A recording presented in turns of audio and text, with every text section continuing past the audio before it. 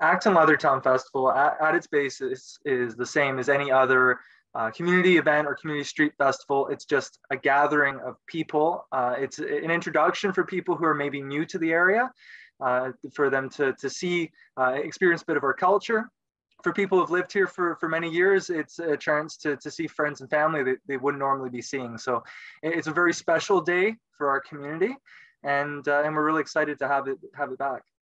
Certainly, and, and as you just mentioned there, for those that have been in the community for years, it's almost a sense of things are getting back to normal when you see festivals like the Leathertown coming back to in person yeah, you know, even myself personally, I was just saying to someone uh, not that long ago, attending some of our other local events, Milton Summerfest. Uh, we've had a couple Rib Fest locally, Georgetown Rib Fest.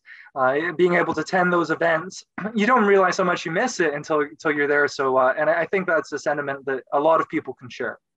For sure. For this long standing, I think I read it's been, you know, around since the BI, the inception of the BIA from since 1977, I believe. It's been around a very long time.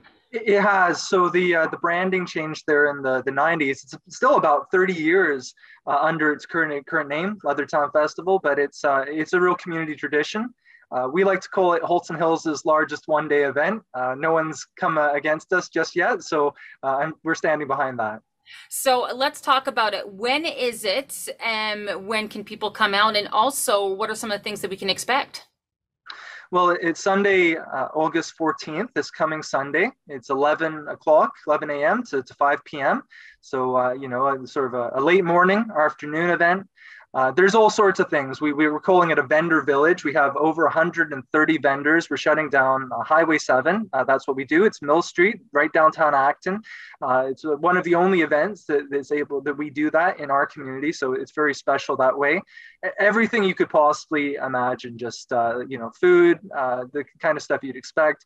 All sorts of different vendors. Uh, we've got some some produce. we, we run a farmers market as well, so there's a bit of crossover with that. So lots of stuff there. There's community activities. We've got Spider-Man. We've got the uh, Disney princesses. We've got three stages that are fully stocked, going from noon to four o'clock, and just a bit before, a bit after. So uh, a lot of great local bands. Wicked Truth is a great local band. They're performing on Transistor Radio, another band. They've done some of the Rib Fest locally. So just uh, so many things. You really just have to come out, check it out, and, and experience it.